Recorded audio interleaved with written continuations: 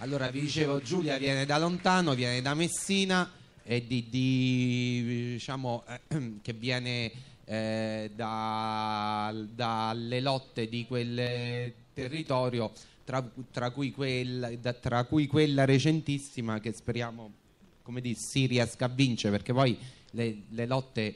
vanno vinte, perché se si perde sempre, come dici, ci si scoraggia, no? che è quella del no eh, MUOS, che, che avrete chiaramente sentito. Prego. Eh, buonasera a tutti, io in realtà sono qui più che come um, comitato Nomus ovviamente il Teatro Pinelli ne fa parte, ma soprattutto per parlare dell'esperienza appunto che è partita a Messina con l'occupazione del teatro in fiera uh, lo scorso dicembre, a cui poi è seguito lo sgombero, tutta una serie insomma di eh, attività che ovviamente hanno aperto un discorso anche sul diritto alla città. Parliamo di una città che per certi versi è molto simile all'Aquila, nel senso che è una città in cui in qualche modo si avverte un terremoto permanente. Dal terremoto del 1908 è una città in cui ancora oggi ci sono delle baracche a cui poi ovviamente in qualche modo, oltre il terremoto, oltre le guerre, si è instaurato anche una sorta di cultura delle baracche, per cui c'è un passaggio, una sorta di risposta dal basso che si, in qualche modo le persone in maniera assolutamente auto-organizzata, eh, non politicizzata, cercano in qualche modo di eh, dire, rispondere anche alle esigenze di diritto alla casa. Eh, noi abbiamo occupato un teatro, abbiamo scelto di occupare un teatro eh, proprio in un giorno particolare perché era un giorno in cui a Messina sfilava un corteo regionale di Forza Nuova abbiamo scelto di ridare questo teatro alla città dopo vent'anni perché pensiamo che proprio a partire dalla cultura sia possibile creare effettivamente delle strutture forti che possano ridare sostanza alle persone, um, appunto attraverso la relazione, attraverso le relazioni, attraverso le comunità eh, possa, in qualche modo si, si possa effettivamente contagiare un qualcosa che non esiste. Per cui anche adesso, per esempio all'interno della casa del portuale che abbiamo occupato in seguito allo sgombero, stiamo mh, facendo tutto un discorso proprio sul diritto alla città a partire dalle relazioni.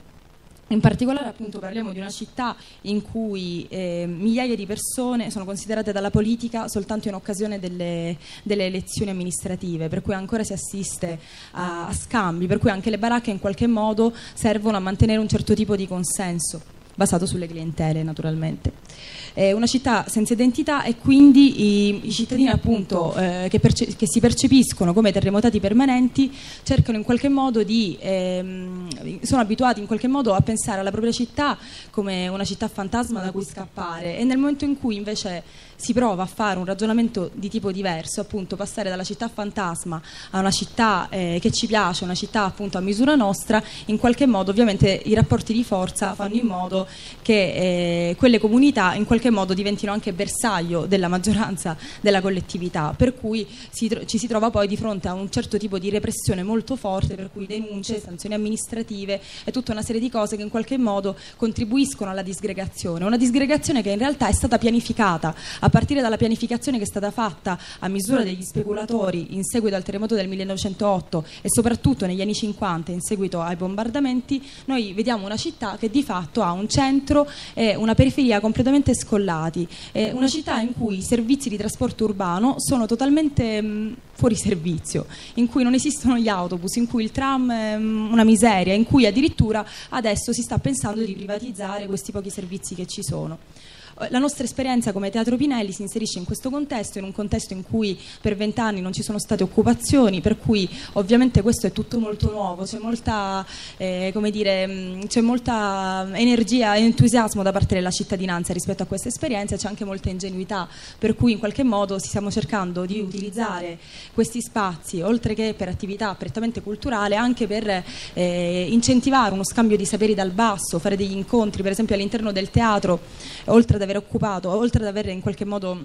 aperto una riflessione su tutto il demanio marittimo eh, della città, perché l'affaccio al mare della città è gestito dall'autorità portuale di Messina, che ne fa un uso assolutamente privatistico, per cui parliamo di un'area di 50.000 metri, eh, metri quadri, eh, la fiera appunto, che è gestita come se fosse casa, le case private dell'autorità portuale, che affittano, 3, affittano i padiglioni a 3.500 euro a sera per delle convention politiche. E nel momento in cui noi abbiamo occupato ci siamo resi conto che queste persone stavano facendo con il comitato portuale di cui fanno parte i privati privanti più potenti della città, gli stessi che hanno monopolizzato il transito mh, navi all'interno dello stretto stanno eh, creando un bando per la gestione dell'intera area fieristica di questo demanio rivolto a dei privati per cui ovviamente gli stessi privati privanti interessati costruiscono il bando. Nel momento in cui abbiamo messo insomma, in evidenza questa discussione, questo fatto, ovviamente eh, c'è stata la repressione più totale. Nel momento in cui abbiamo creato un comitato e un progetto costituente per pensare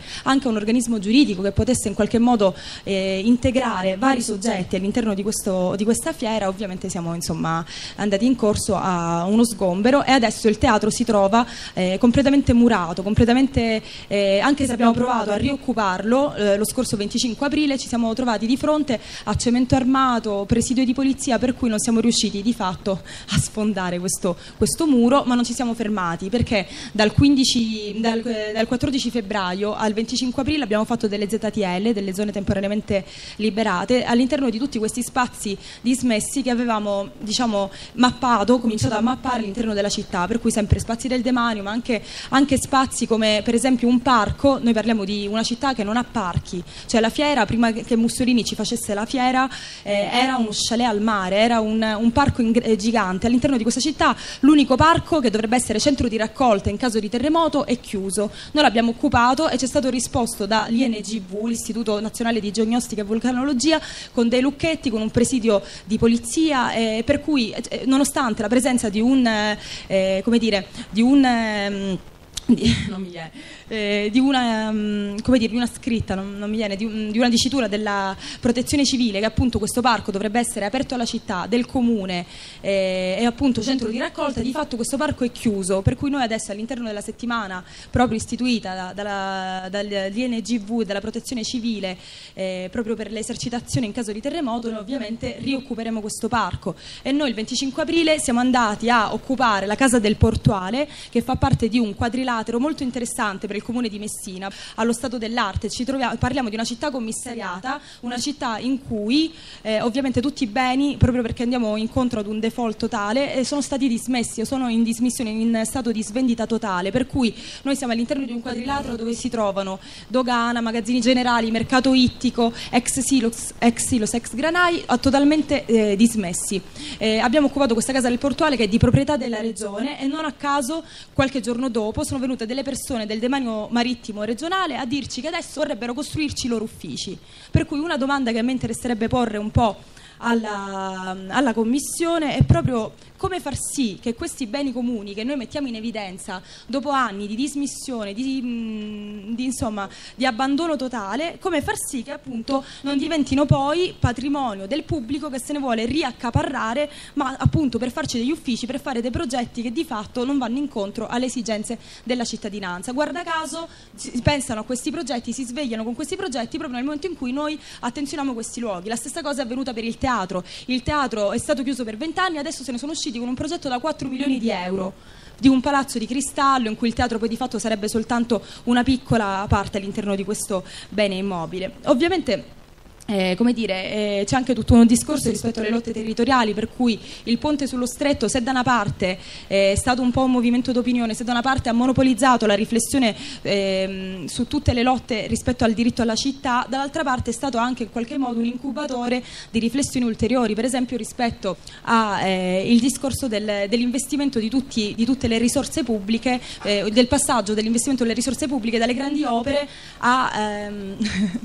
sono un po' stressata a, a, come dire, alla difesa del territorio, appunto la questione di Giampilieri, le frane, il dissesto idrogeologico sono dei problemi contingenti che ovviamente sono legati anche al diritto alla città, al diritto alla casa. Per cui appunto noi la domenica facciamo queste assemblee cittadine in cui si cerca di passare da una crisi di identità a un diritto alla città. Eh, in città è nata una lista eh, di un candidato di movimento che appartiene alla Rete No Ponte che ha proposto un assessorato all'autogestione dei beni comuni eh, stiamo facendo una mappatura di questi beni dismessi ma attraverso il corpo, mettendoci attraverso queste ZTL, perché noi riteniamo che non basti fare un elenco eh, vuoto di questi beni, l'hanno già fatto, l'hanno fatto i grillini, l'hanno fatto insomma in passato tanti movimenti. Adesso è il momento secondo noi veramente di entrare, entrare anche col flex, anche con pratiche di, eh, a cui di solito i cittadini come dire, non si espongono, però perché non, non, non crediamo più che basti rivolgersi, rivolgere degli appelli vani alle istituzioni. E poi appunto il discorso rispetto alle grandi navi, rispetto un tipo di turismo che ovviamente sono d'accordo con... Eh,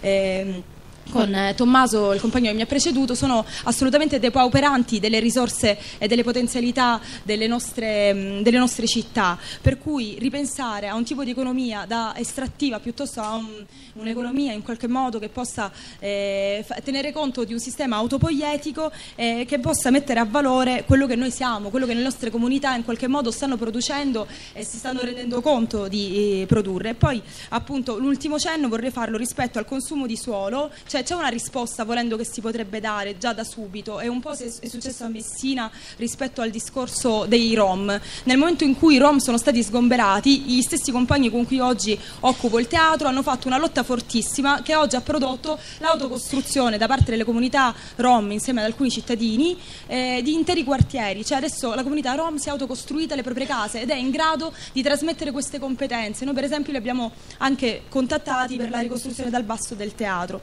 Eh, concludo dicendo che all'interno di questo nuovo spazio che abbiamo occupato, la Casa del Portuale, vorremmo ospitare la Costituente, ma vorremmo anche far sì che lì ci fosse una università della terra, un'università dell'attivismo dal basso, un, un, posto dove effettivamente si possa parlare di diritto vivo, si possa rielaborare e in qualche modo trasmettere anche a livello popolare i nostri contenuti. Grazie.